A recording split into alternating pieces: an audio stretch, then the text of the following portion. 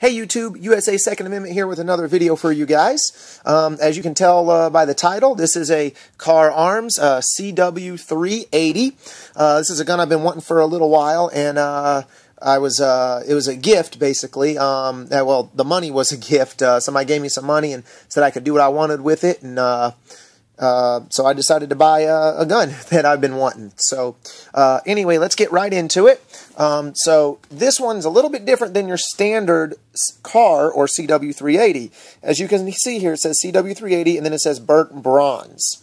So, in here, CW38, 33, BB, BB is the burnt bronze. Um, I saw this a while ago on Gunbroker.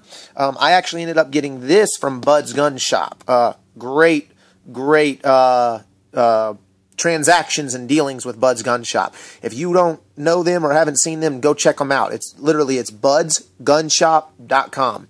Um, anyway, uh, let me get right into it. So you open up the box. There's this layer of foam on top. I'll set that to the side.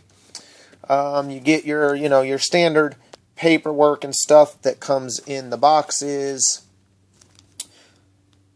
There you go. For Kahr Arms slide release tip. So, uh, for those of you that don't know, Kahrs are very tight. Very, very tight. Um, they require a lot of break in. This was my FFL, my transfer. Um, they require, require a lot of break in, uh, about 250 rounds to break this puppy in. And you'll see why in a second. But first, let me show you what else is in the box and we'll get to the gun. So, this came in the box. I'm not 100% sure what this is for, but I'm guessing it's for uh, disassemble or something. There's a pin here.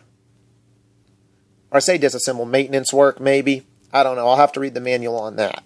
Um, but that was in there. And then this, this is the most stupid thing ever. This is our government at work. So I open up this little box, right? And you take it out.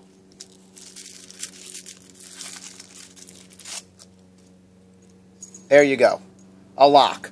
Why? Because every stinking gun has to come with a lock.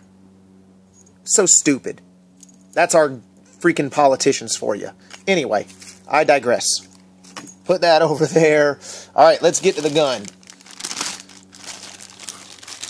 I have not shot it yet. I have not cleaned it yet. This is exactly how it came to me. I have opened it already, but this is exactly how it came to me. There you go proudly made in the USA. Oh, yeah. There's the flag. I love that. Absolutely love it. All right, let's get you guys some close up shots of it here. There you go. There you can see some of the factory oil on it up top. You see that? Like I said, I haven't cleaned it yet.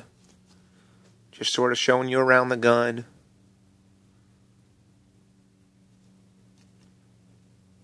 At my FFL, they actually had the P380, which, if those of you uh, know what that is, the P380 is the uh, supposed to be the more uh, the high end version of this same gun. It actually has the same frame. It just has like a match grade barrel, and the slide's a little bit different cut on it. But anyway, uh, they had the P380, so I pulled that out, and the guy at the shop did too, and we set them up side by side. Okay, and we looked at the barrel here, or I'm sorry, at the slide, and this one, the CW380, the cheaper one, actually has this cone-shaped slide, which helps with holstering and not snagging, whereas the more expensive one didn't. So, to me, that's a plus. Another plus, this burnt bronze. Phenomenal. I love that burnt bronze. Just really makes it pop. And then uh, here, let me give you guys a sight picture here.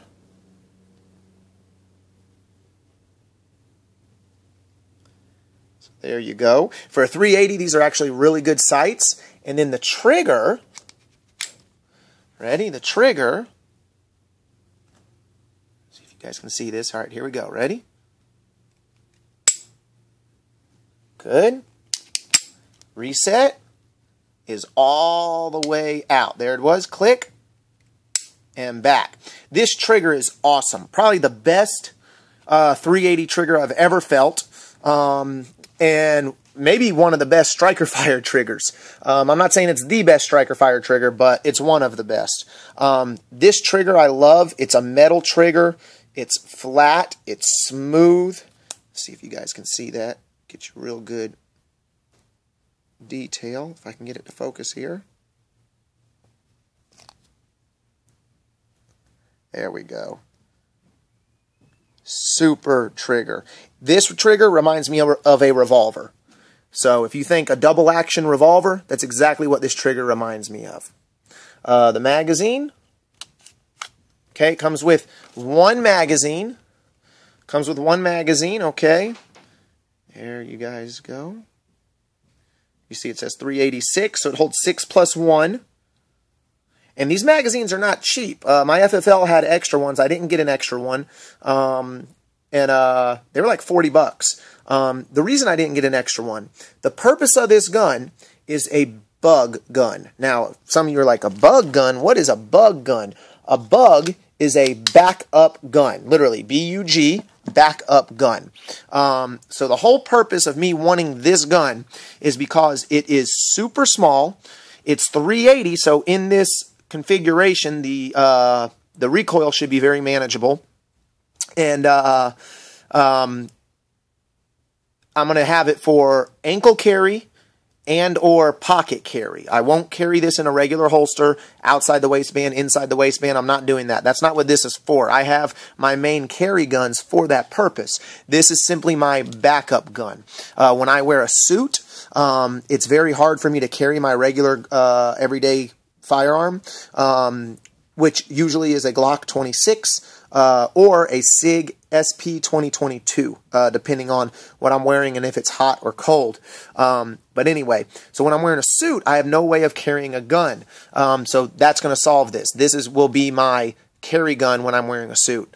Um, which is not very often, but it's it's often enough to warrant me wanting to get a gun.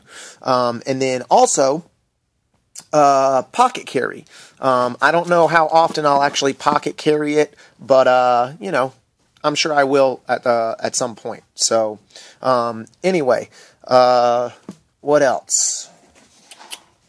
I think that's about it. I think you guys have pretty much seen everything. Super thin grip here. I mean, just super thin. Let me show you it in the hand.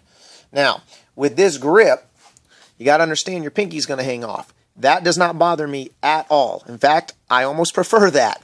Um, I just get a really good grip, a really good purchase on it. Some people hate it. I like it. So, but you can see the size.